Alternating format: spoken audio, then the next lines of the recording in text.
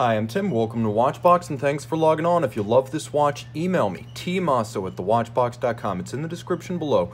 Your purchase and pricing email question line for buying this or any watch you see on our channel or our website. Reach out to me directly, tmosso at thewatchbox.com.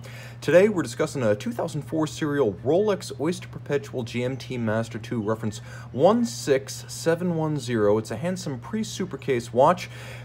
Following the era of hollow end links and hollow lugs, this watch is a bit of a transitional piece featuring the signature black and red Coke style bezel. It has the solid link of the later bracelet and the solid profile of the later lug, but with the same vintage feel of previous 5-digit GMTs. Let's throw it on the wrist real quick. The timepiece is 40 millimeters in diameter by a remarkably slender 12 millimeters thick.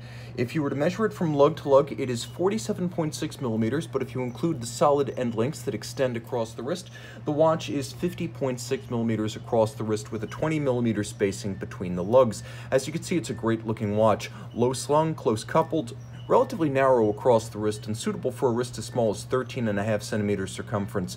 Now taking a quick look at the bracelet, since we are looking at a later production 78790A bracelet, you can see you do have those solid end links, and we still have the hollow center link, so it's a bit of past and present in terms of Rolex construction. It has a little bit of Rolex rattle, but not too much, and that's part of the charm of the watch.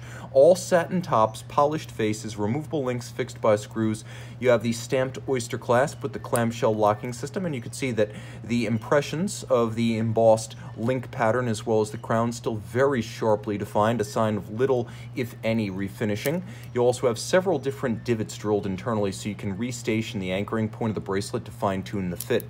Taking a quick look at the underside, you can see Rolex has always done the underside of bracelets well, with plenty of gulfs between the links to avoid trapping wrist heat, sweat, or moisture. Now, the timepiece features satin lug hoods, polished flanks, and as you'll appreciate, a lovely and perfectly preserved anodized red and black bidirectional GMT style bezel. Now the timepiece is designed to be used in conjunction with Greenwich Mean Time. So originally launched in late 1954 for Pan Am pilots, the GMT Master featured a 24-hour hand and a 12-hour hand that were synchronized together so you couldn't set them separately.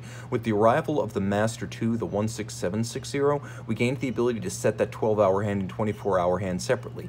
But still, if you set the 24-hour hand to Greenwich Mean Time, you can use the GMT offset of your port or airport of destination to temporarily read three time zones on this dial. Sapphire crystal, of course, black lacquered dial based with white gold hands and indices. This is well into the Luminova era, so no questions about whether it's original tritium.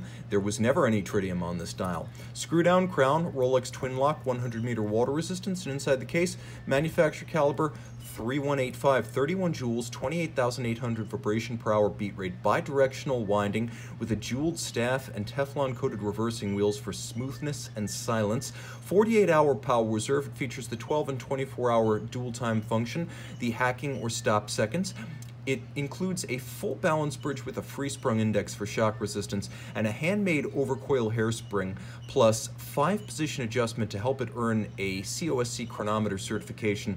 So not just a very shock resistant and water resistant watch, but a very accurate watch an all-time great and in a bezel that has never been available on the ceramic models.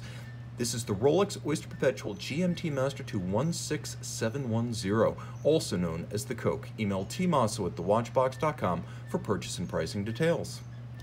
Highly caffeinated with the Rolex GMT Coke.